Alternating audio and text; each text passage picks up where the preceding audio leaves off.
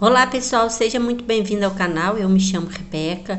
Olha só que gracinha que eu vou fazer uma resenha hoje desse bico de crochê em formato de borboleta.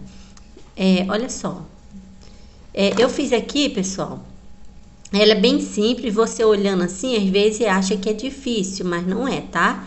Eu vou ensinar passo a passo para vocês na próxima videoaula, mas hoje eu só vou mostrar para vocês o material que eu utilizei, a agulha, para fazer esse bico de crochê em formato de borboleta.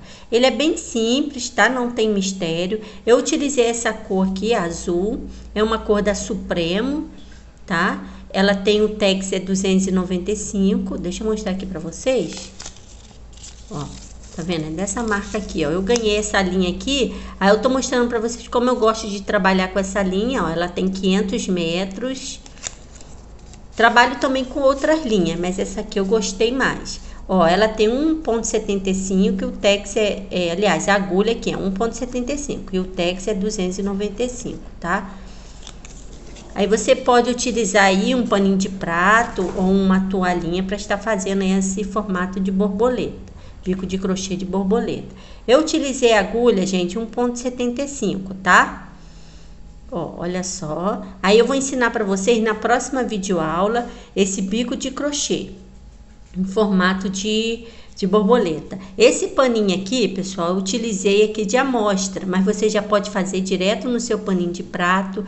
É, fica uma gracinha, fica diferente aí, você vai gostar. Você também que é iniciante, é, me acompanhando passo a passo na próxima videoaula, eu vou ensinar bem devagar para você estar aprendendo. O objetivo aqui desse canal, gente, é estar aprendendo, né? Porque o crochê é uma terapia e não tem como ensinar rápido, porque o crochê, principalmente para iniciantes, tem que fazer ponto por ponto, ensinando, ensinando aí bem explicadinho para você, tá? Eu espero que vocês gostem. Deixe aí também no comentário, tá? Alguma coisa, alguma dúvida.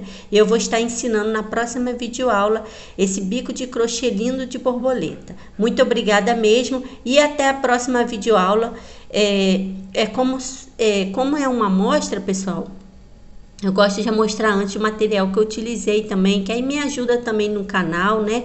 É, você que ainda não é inscrito, se inscreva para estar me ajudando. Muito obrigada mesmo você que me acompanha e até a próxima videoaula fazendo aí esse biquinho de crochê passo a passo.